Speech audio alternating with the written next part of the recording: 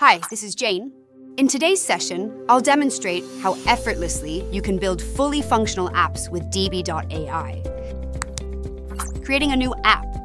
The new App Stepper is your starting point for building new applications. Here, you can choose the primary language and select the data source for your app. You can create an app by importing existing data or linking to your current database server. Choose Fresh Data to start a new project from scratch. Describe your app to Deby. Use your own words and language to define your app.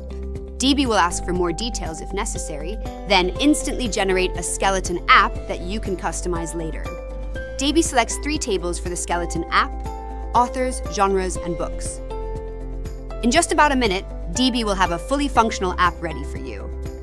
The Book Management app. The Books table in the Book Management app displays comprehensive book details, including title, ISBN, author information, publication date, genre, and rating. It also supports uploading a cover image.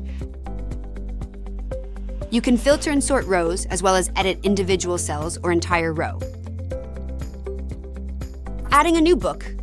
Clicking the Add button launches a multi-step form where you can enter details for a new book.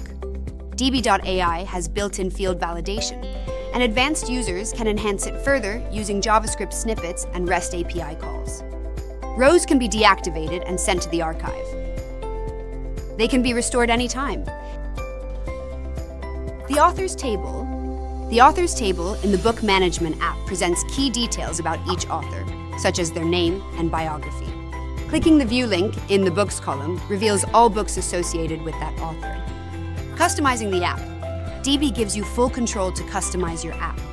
For example, simply type, add number of copies column, and Deby will add that column to the appropriate table in the app. Tell Deby what you need in your own words and language. Sign up for free and build your app today.